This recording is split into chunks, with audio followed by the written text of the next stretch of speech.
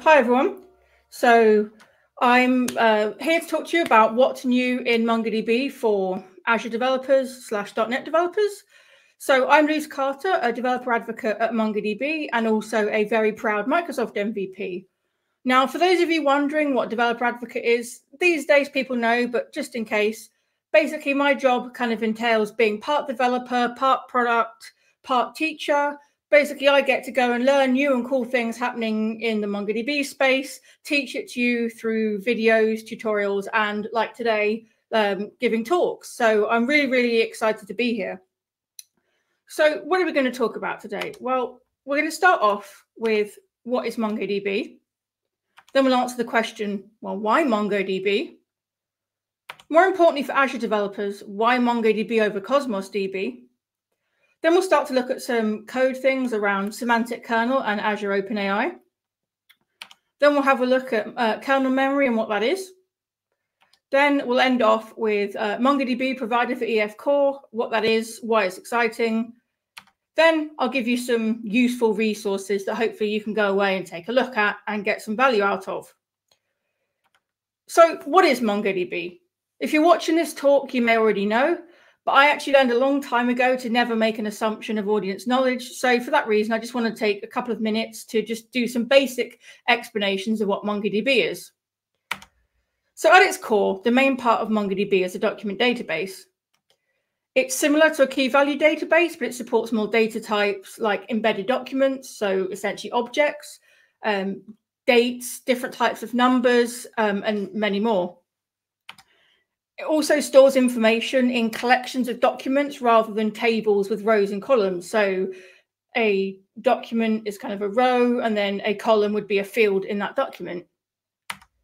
As you'll see today, and if you've ever seen anything on MongoDB, it's general purpose. So it can be used for lots of different things, whether it's an operational database, vector database, time series database.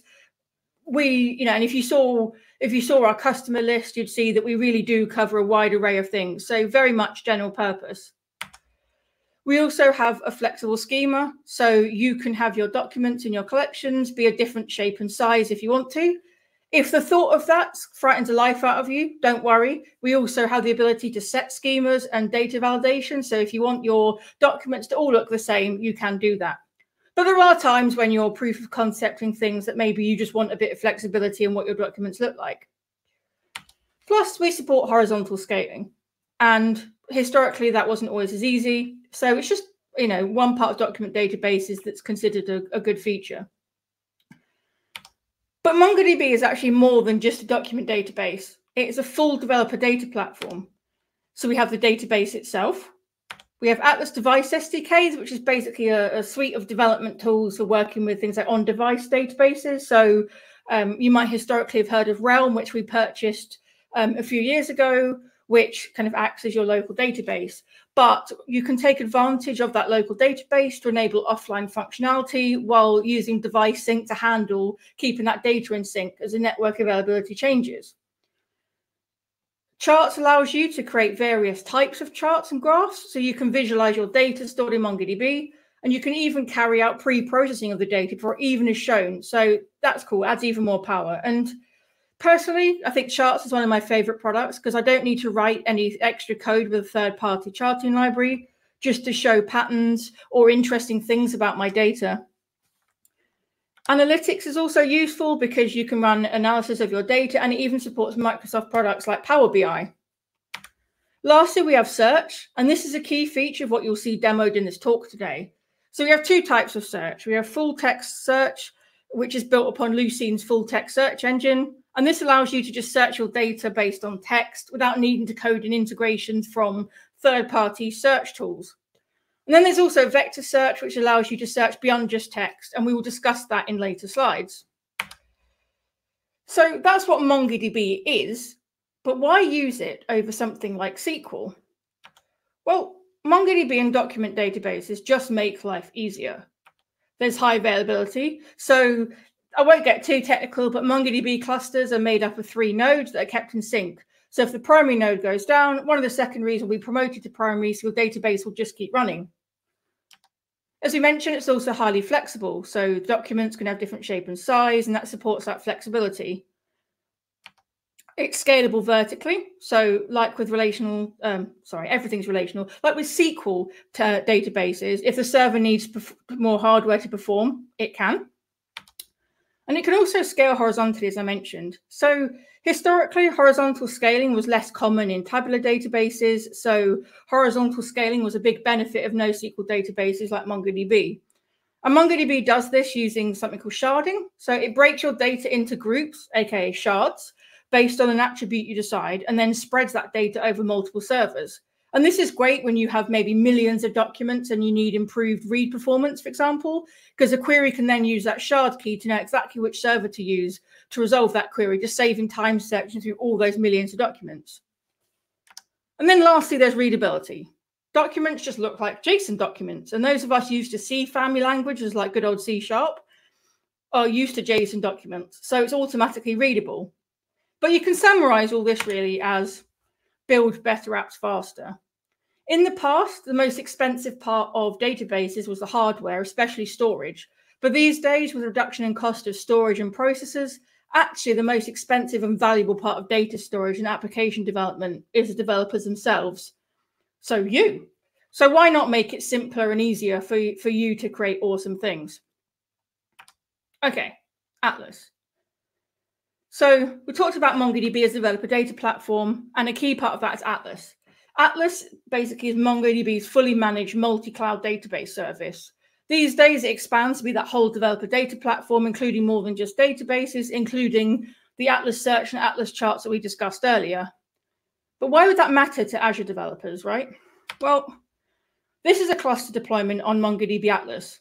As you can see, this is deployed on Azure in the North Europe region in Ireland. Even better, it's an M0 tier cluster, which is our free forever tier that doesn't even require you to share credit card details. So it's great for just trying creating proof of concept applications without any kind of financial commitment. And if you're like me, you'll start a thousand side projects a year that you never finish, and it's super cool that you can do it without paying for it. So this clip here shows how easy it is as well to actually configure Atlas to create a cluster and deploy it to Azure. So we can just go ahead and click create. It will bring up a wizard. You can then fill it out. So you can pick M0 and you can have one per project. There is a sample dataset box, but um, you can load more later on that we'll see. You can pick Azure. Then you can pick which region you want to deploy to, and then just go ahead and click create deployment. If sometimes it will give you a, a nice CAPTCHA box. Who doesn't love that? And then it will just go ahead, start deploying it and bring up this guide if you want to. So you can generate your first user, you can add your IP address, and then it will talk you through other stages if you want to. And what's cool about MongoDB as well is if you just want to play around, we have a whole set of sample data. So we saw that little tick box, but there's actually more than just that little sample you get from that tick box. And this sample data comes in all shapes and sizes, and you can load it into any cluster and it represents all sorts of interesting data such as Airbnb listings, restaurants, movie, even shipwrecks. And loading the sample data is as easy as clicking load sample data on this overview page of your new cluster. After a couple of minutes, you'll then have an array of data to play around with without needing to make your own. But that's Atlas and you're Azure developer. So you might be wondering, well, why MongoDB Atlas over Cosmos DB? Well, as you may know, Microsoft offers this product called Cosmos DB with MongoDB API. And this is a NoSQL product offering that I think's been around since about 2017. But the issue is it's more of an emulation of MongoDB, so it imitates the features and doesn't necessarily always have full compatibility. In fact, one of the things we see a lot is that people often raise issues with the Cosmos DB with MongoDB deployment with us, thinking we're behind it. And then you end up wasting more time trying to get help from the right place. And those differences might be okay for you in your application, and which you choose is up to you because both have full pros and cons. You know, we are we are you know happy partners with Microsoft, which is exactly why I got the, the honor of being invited here today. So you know it's not a competition; it's just about which one works best for you. But I do recommend that for, for the full experience, MongoDB and specifically Atlas is the way to go. But some of you might be thinking, well, why would I pay for Atlas when I have an agreement with Microsoft that provides Azure credits? Well, guess what? That doesn't need to hold you back because we have an official product in the Azure Marketplace allowing you to use your Azure credits to pay for an Atlas subscription so you can get the benefits of Atlas without paying any extra. Woo, winning. Okay, so that's that's the kind of scene setting stuff and just giving you an idea about MongoDB and Atlas and some background info. Let's start actually looking at ways that you can work with Atlas and Azure products in your applications and some of the latest advancement, advancements in our what I like to call long-standing partnership. And it's true. So first up is Microsoft Semantic Kernel and Azure OpenAI. Well, what are they? So Microsoft Semantic Kernel is an SDK available in multiple languages that integrates LLMs such as OpenAI and Hugging Face with programming languages such as Python, C Sharp, and Java. And it allows you to integrate out of the box community and custom plugins that can be chained together to achieve great things as a combo. You can use OpenAI or even Azure's own managed OpenAI product. Plus, it supports connectors for other storage engines for memory storage, such as, hey, MongoDB Atlas, Chroma, DuckDB, Redis, and others. Okay, let's look at a demo movie recommendation bot that I wrote that uses Semantic Kernel, Azure OpenAI, and Atlas. So this is a very professional looking console application that I ran. So it asked you, tell me what sort of film you want to watch. So we can ask it something like, I want to watch something about music. It will then go away and pull in the information. So it will do a search for you. It will then give you the title, the plot, the year, and a relevant score. And we can even keep asking it questions like maybe we want something about sharks. And again, you get those results back really, really, really quickly, which is one of the things I love about the connector with Atlas and Semantic Kernel. That's a simple bot though that queries our queries our data. So that's cool. And it was really fast. But how does it work? Well, as I mentioned before, it uses semantic kernel. So um, it uses a MongoDB Atlas cluster for storage and Azure OpenAI for generating the vector, embed bleh, vector embeddings using the chosen model.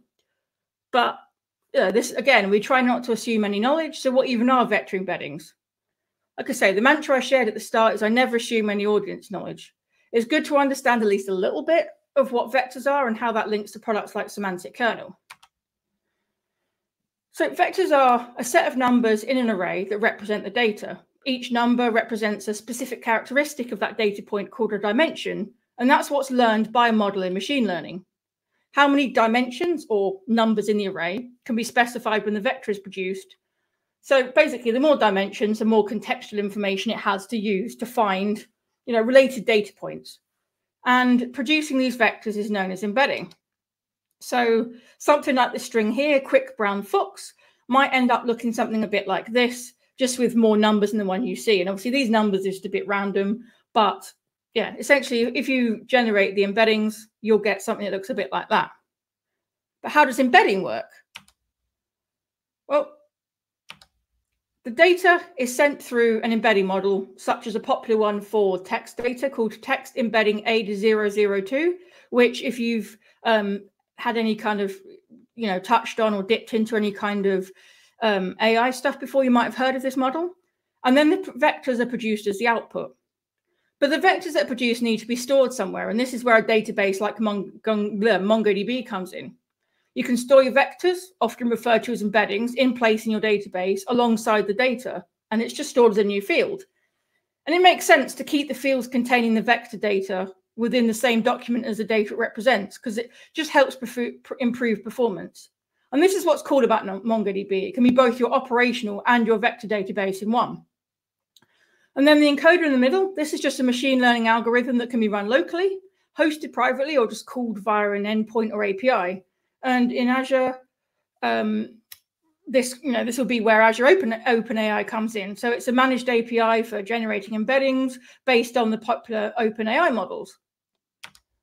And OpenAI is currently, um, Azure OpenAI is currently in preview, and you can you can request access as a business by filling out a simple form. I say it as a business because a few weeks ago, I think around Easter, when I requested access, it did make it clear on the form that if you had a personal account like Gmail or Outlook, um, it wouldn't be accepted. But once you've been approved, which I found happened quite quickly, you don't have access to the ability to deploy an endpoint linked to a specific model that you can take advantage of in your applications. And creating them is really simple. So we've got these two deployments here already, but if you want to make your own, all you need to do is click create new deployment, select which model you want. So at the moment we have GPT-3.5 Turbo, text embedding ADA 002 or Whisper. As you can imagine, we're going to pick the text one. Then for model version deployment type, there's only one option, so that's nice and easy. Give it a name. I don't know, Azure Dev Day demo talk or text demo, text model. I can't remember what I called it. There we go. Um, and then just click create. And just like that, almost instantly, you have your own deployment. And that deployment name, um, make a note of it. Obviously, you did just name it yourself, but just make a note of it because as you'll see, it will come in useful later. Okay, so how do we combine these to perform a search of our data that we have stored? Well, first we generate embeddings for the data you want to search. So in our case, we can use the Azure OpenAI deployment we just created. We can store those vectors as a field of embeddings in our database. But we also need to create a vector search index just to let the database know where to find the embeddings and um, what similarity function to use. Um, um, which similarity function is, is essentially the um, search's way of how it will find what it wants. There's different ways of doing comparison. Then we need to create the embeddings for that search term. So both are available as vectors for comparison using that similarity function. And actually, thanks to semantic kernel, steps one and four are done for us automatically. And step two is just achieved with a plugin called semantic memory that we'll see in code in a minute. Ooh, hang on, there we go. So how do we do it in Atlas? Well, you can do it in a few ways via the Atlas Search API, the Atlas API, um, might be Atlas CLI, anyway, programmatically in code or via the Atlas UI in the browser, which I'll show here because in the browser is just much easier to see as a demo. So we can just, we've got our cluster here that we've deployed and it has the sample data loaded. We can just go into it and say, create a search index. We want to go under Atlas vector search at this point rather than full text search. You can see we've only got JSON editor as an option, but we can go in. We can then specify which document uh, database and collection to find the field that we want. And then we can give the name if we want. Um, and then we just have to fill in a couple of things. So first is the path. So that's the name of the field to find the embeddings. In this case, I happen to know that the field is called plot embeddings. We pick those number of dimensions, which is 1536. Then we pick that similarity function. So you've got three choices, but we're going to pick um, cosine as our function, which you cosine, which uses the um, angles between the vectors to find the similarity, just because that's what semantic kernel supports. And just like that, you have your index. Within a couple of minutes, once it's indexed all your documents on that field, you will get an email to let you know that your, your search index is ready and you can start using it. Okay, so we have everything in place to carry out those steps. Let's see the actual code used to make that movie recommendation bot you saw earlier. Well, because we want to store information, search it, retrieve it, and remember it between sessions, we want to use that uh, memory plugin, which is accessed via a memory builder. So we set up the text embedding generation service. In this case, we're saying with Azure OpenAI, um, and we pass it in the details. So we have that deployment name that I mentioned earlier is worth remembering. Once you deploy it, you'll also get a um, endpoint, and then you've got your API key, your model name, and you know anything else that you might need. In this case, that's all you need. We then create a MongoDB memory store using that connector, which is available as a NuGet package, and we pass it to our connection string. We just pass it the connection string, the database name, and the name of the search index we want to use. In this case, it would be that vector underscore index default value from creating the index earlier. Note, semantic kernel, though, can only work when the field containing the vectors is called embedding singular. So this is a feature, and we'll discuss a solution to that later. But for now, we can't use the embedded movies collection that we just created an index on in the sample data set because that field is called plot underscore embeddings, not embedding. And so for that reason, we just have a method that we can call that only needs calling one time called fetch and save movie documents, which solve that problem. So there's a few things that happen in this method. Let's just talk through it. First, using the MongoDB C Sharp driver, we've already got a client and a database and uh, collection defined. And in this case, we call it movie collection. So we fetch the number of requested documents from the movie collection.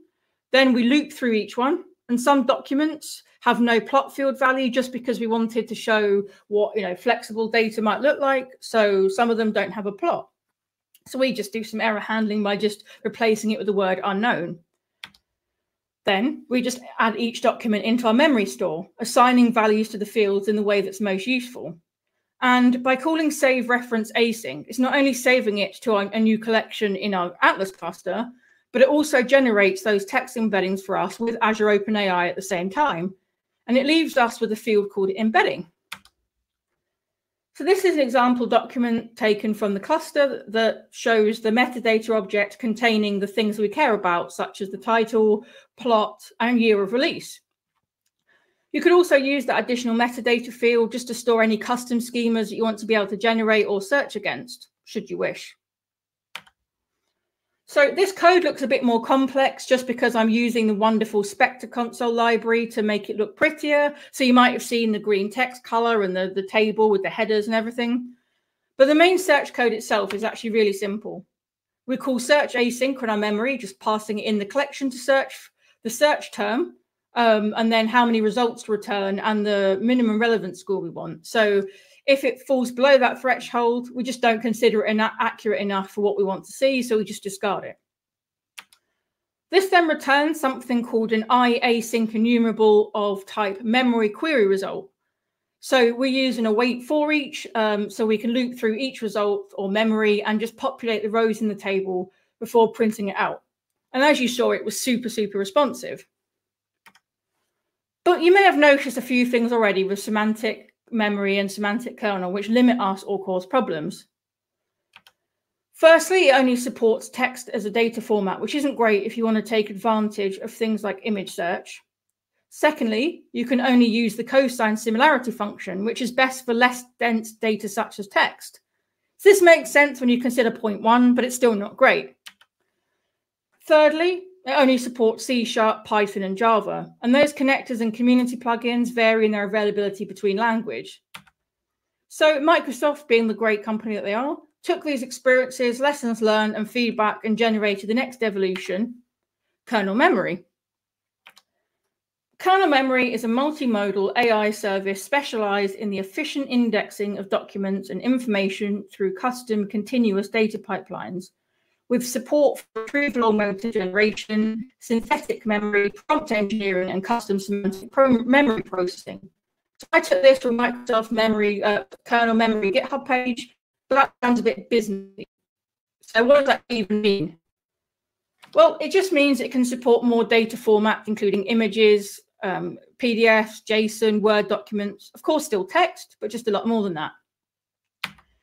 It can also support hybrid search using and or filters and just move away from cosine as the only available similarity function for comparison.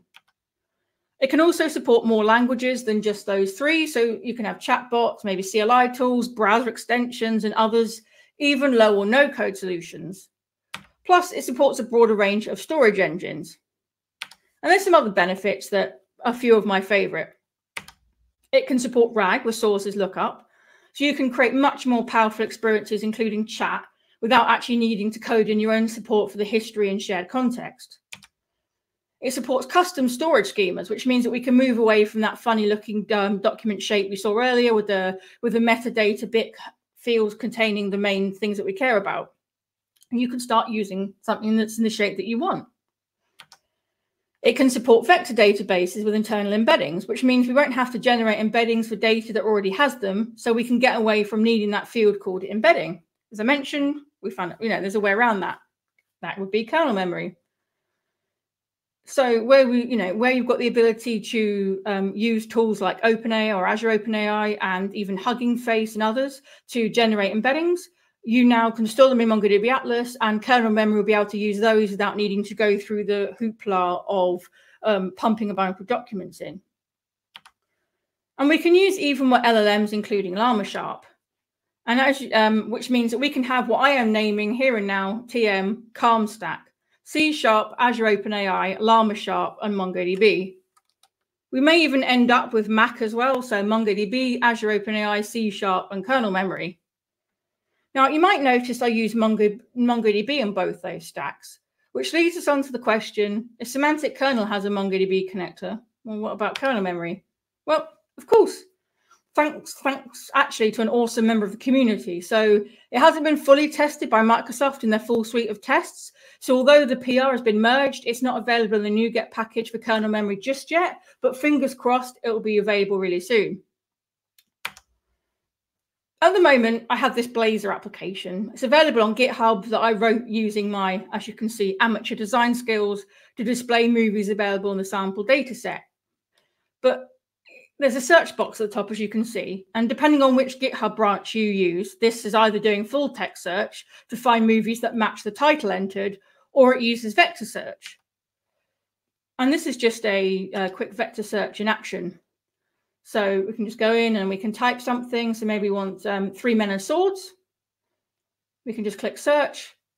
It'll go away and use vector search under the hood to find it. And hey, look, we find things like Three Musketeers, and other ones like Sword and the Sorcerer, Crouching Tiger, Hidden Dragon, Dragon Tiger Gate, anything that it deems from that search that is similar to Three Men and Swords. Now, this example currently uses the MongoDB C Sharp driver, which brings in vector search as part of our advanced querying product called aggregation pipelines, which is available in nearly all our drivers. But what I would love to do is actually migrate this to use kernel memory and add a chat feature that allows you to have a full on conversation with the bot so you can search on not just title or maybe poster image, but actually get recommendations via a full conversation. So you can ask more than just one thing, like something about music. Whew. Cool. So that's that's cool stuff with AI using Atlas and Azure. But what else? Well, I just want to briefly talk about something else. Entity Framework, and more specifically, the MongoDB provider for EF Core. Many websites hosted on Azure App Service use Entity Framework. Plus, um, you know, statistics and surveys by third parties show that MongoDB is the most popular NoSQL database for C Sharp developers. So it's not no surprise that one of the most requested features of Entity Framework was a provider for MongoDB. So for a while now, Microsoft and MongoDB, as the great friends that we are, have been collaborating on a new provider for Entity Framework. And the exciting news is that on Thursday, this very coming Thursday, at our .local NYC, so New York event, you will hear that the provider is going GA. Woo. I wish I was on my Mac now because I could play confetti. Um, but anyway, for those of you interested, here's just a quick snippet of some interesting things about the provider that you might want to know. So this is from another demo available on GitHub, which is using a tutorial I wrote and recorded on YouTube as well on how to get started with the provider. And it's just a demo of a car booking system, nothing exciting. So we have the car booking DB context. And just like with any um, entity framework code you already have, it just inherits from DB context and has DB sets for our models we want to store. We can also override the on-model creating method if we want to provide further information on our entities.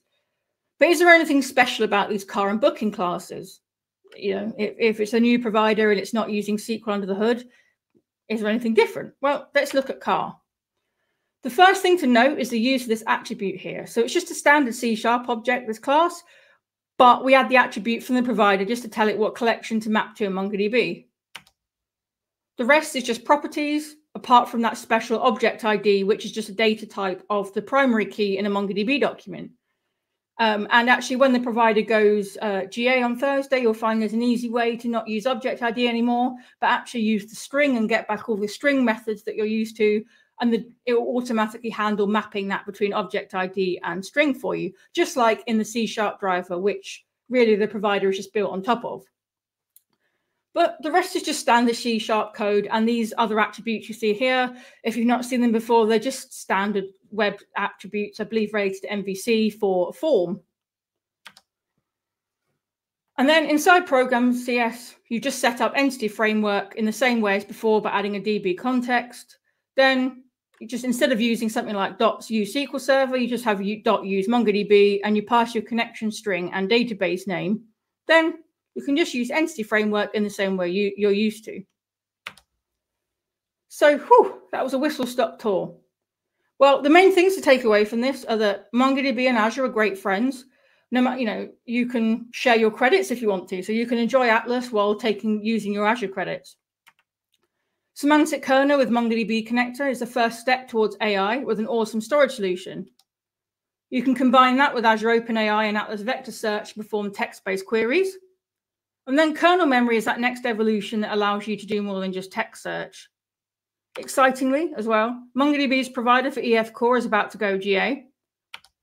And the main thing to remember, things are only going to get better. So there'll be a link and a QR code to access this gist on the next slide that I'll leave up. But this is just a list of useful resources I think you'll get value from. They just include things like content and tutorials I've already mentioned, our developer center where you can find lots of C Sharp and Azure content to get started. And as I say, just keep an eye out on Thursday for our .local New York, which will also be um, some of the sessions, like the keynote, will be live streamed on YouTube. Then you can watch out for sessions later where you can learn more. Thank you.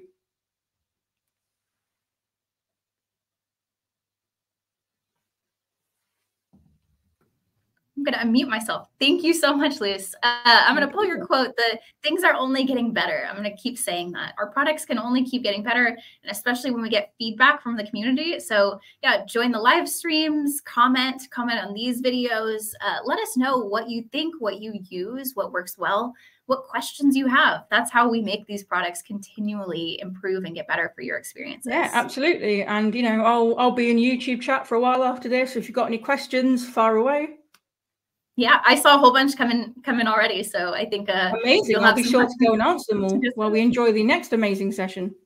Yes, thank you so much. Enjoy the rest no of your day. Thank you for having me.